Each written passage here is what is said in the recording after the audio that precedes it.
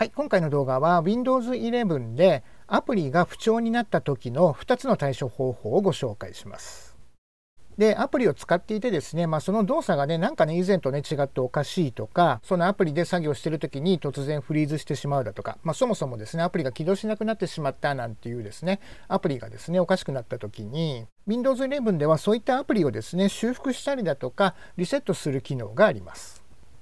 それではね、早速ね、その修復とリセットのね、この2つの手順ですけども、まずはですね、Windows の設定の画面を開きますんで、Windows キーを押したままアルファベットの I を押して設定の画面を開きます。はい。で、次にこの画面の左側のこのアプリという項目のところをクリックをしてください。はい。次にこのアプリの中のですね、このインストールされているアプリという項目のところをクリックします。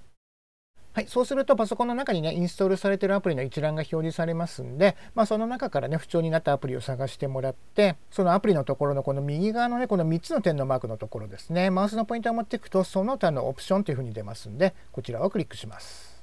で、続けてこの詳細オプションのところをクリックをしてください。はい、で次にこの詳細オプションの画面をね少し下の方に下がっていってもらうとこちらですねこのリセットっていうところに修復っていうのとリセットっていうね2つの項目があります。で、まず試してほしいのはこの上の修復の方ですね。こちらにもね、説明がありますけども、このアプリが正しく機能していない場合は、修復を試すことができますと。で、アプリのデータには影響しませんということで、そのアプリでね、作成したデータなんかではね、特に影響を起こさないので、まずはですね、こちらの修復っていう方を試してみてもらって、で、それでもね、その症状が改善されない場合はですね、この下の方ですね、このリセットという方。まあ、こちらはね、書いてありますけども、アプリのデータは削除されますということで、こちらはですね、いろんなね、アプリの中で設定したようなものがですね、全て初期化して、そのアプリをインストールした直後の状態に戻すという風になりますんで、その点だけは理解した上でですね、このリセットの方は行うようにしてください。